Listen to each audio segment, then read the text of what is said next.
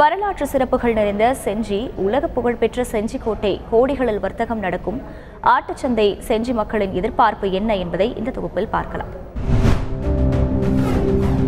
உங்கள் தொகுதி உண்மை நிலவரம்.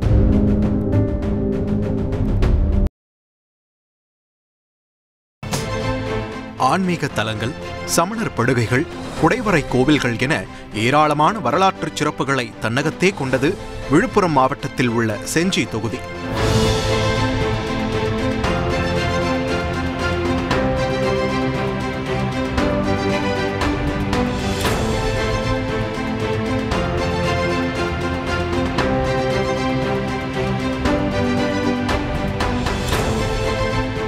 உலக புகழ்மிக்க செஞ்சிக்கோட்டை இந்த தொகுதிக்கு மேலும் சிறப்பு சேர்க்கிறது.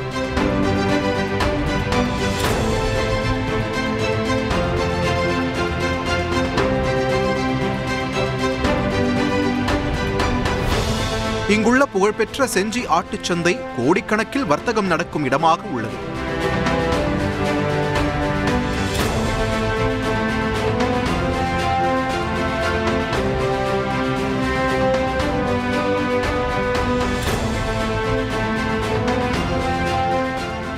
செஞ்சி தொகுதியில் ஒரு லட்சத்து இருபத்து ஆறாயிரத்து அறுநூற்று இருபத்து மூன்று ஆண்கள் ஒரு லட்சத்து இருபத்து எட்டாயிரத்து நானூற்று தொன்னூற்று ஐந்து பெண்கள் மற்றும் முப்பத்து நான்கு மூன்றாம் பாலினத்தவர் என மொத்தம் இரண்டு லட்சத்து ஐம்பத்து ஐயாயிரத்து நூற்று ஐம்பத்தி இரண்டு வாக்காளர்கள் உள்ளனர்.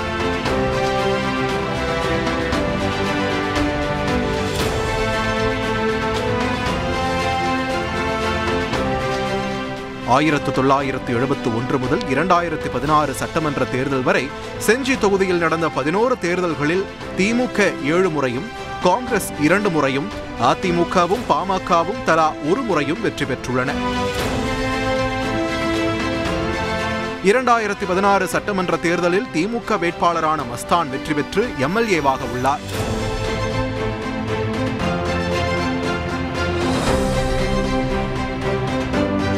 திண்டிவனம் திருவண்ணாமலை இடையே செஞ்சி வழியாக அறுபத்தி ஏழு கிலோமீட்டருக்கு ரயில் பாதை அமைக்க திட்டமிடப்பட்டது.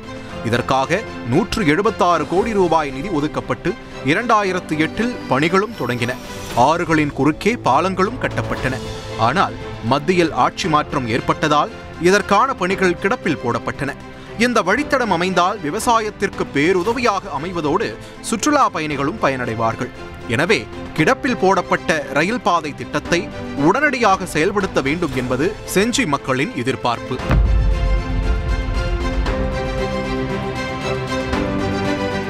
செஞ்சியில் உள்ள காந்தி பசார் ஜவுளிக்கடைகள் உள்ளிட்ட பல்வேறு வணிக நிறுவனங்கள் நிறைந்திருக்கும் பகுதி. இதனால் கூட்ட நெரிசல் அதிகமாக காணப்படுகிறது. குறிப்பாக வாகன நிறுத்தம் இல்லாததால் சாலை ஓரங்களில் வாகனங்களை நிறுத்துபவர்களால் வாகன ஓட்டிகளும் சிரமத்திற்காளாகின்றனர் மேலும் இதே பகுதியில் பேருந்து நிலையமும் இருப்பதால் கடும் போக்குவரத்து நெரிசல் ஏற்படுகிறது. எனவே இதற்கு தீர்வு காணும் வகையில் மேல்களவாய் கூட்டுச்சாலை அருகே புதிய பேருந்து நிலையம் அமைக்க வேண்டும் என்பது பொதுமக்களின் கோரிக்கை.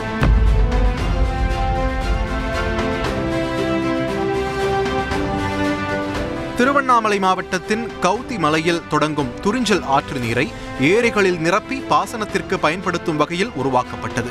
நந்தன் கால்வாய் திட்டம் இதற்கு ஆதாரமாக இருந்த கீரனூர் அணையும் கால்வாய்களும் சிதைந்துவிட்ட நிலையில் இதனை சீரமைத்து மீண்டும் திட்டத்தை செயல்படுத்த வேண்டும் என்பது விவசாயிகளின் நீண்டகால கோரிக்கை. இதற்கான முயற்சிகள் பலமுறை மேற்கொள்ளப்பட்டு கைவிடப்பட்டது. இந்த திட்டம் நிறைவேற்றப்பட்டால் செஞ்சியில் ஆறாயிரம் ஏக்கர் நிலம் பாசன வசதி பெறும். தற்போது இருபத்தாறு கோடியே நாற்பத்தி ஏழு லட்சம் ரூபாய் நிதி ஒதுக்கப்பட்டு அடிக்கல்லும் நாட்டப்பட்டுள்ள நிலையில் நந்தன் கால்வாய் திட்டத்தை முழுமையாக செயல்படுத்த வேண்டும் என்பதே விவசாயிகளின் கோரிக்கை. செஞ்சி தொகுதி மக்களின் கோரிக்கைகள் நிறைவேறுமா?